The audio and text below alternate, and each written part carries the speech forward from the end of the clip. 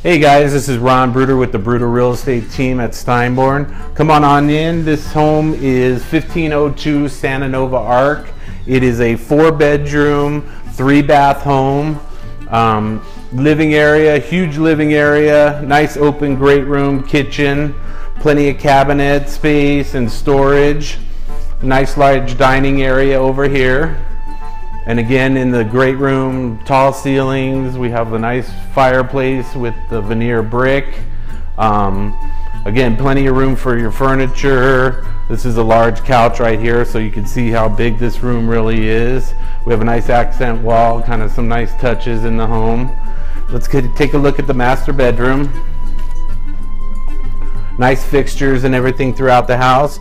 Here's the master bedroom. Again, large master bedroom with an exit out to the back patio. We have a nice accent wall here. Plenty of room for a king size bed and a couple armoires and everything. And then here we're gonna come into the master bath.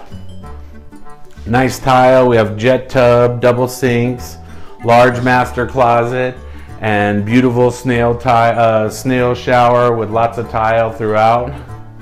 And then let's go take a look at the other two bedrooms. So this home is a split floor plan. Um, again, here's that first bedroom in the front. Could be a great office.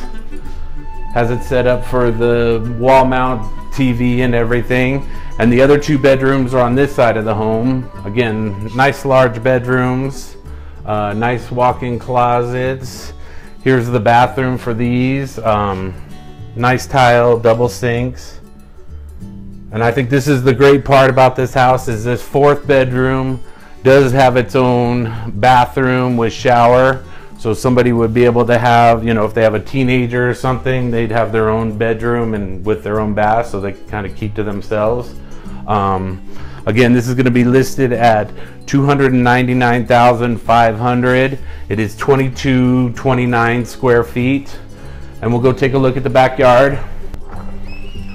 All right, guys, and now we're taking a look at the backyard. Again, this home's on a third of an acre, so you have a huge yard, plenty of room for a pool.